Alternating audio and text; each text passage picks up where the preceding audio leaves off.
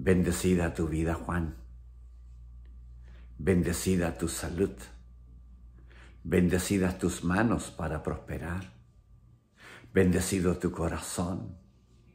Bendecido, creativo, lleno de gracia, de favor, de sabiduría.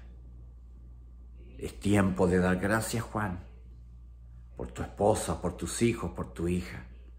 Tiempo de avanzar, de tener, obtener, poseer y disfrutar de todas las bendiciones que el Eterno ha preparado para ti y para tu casa.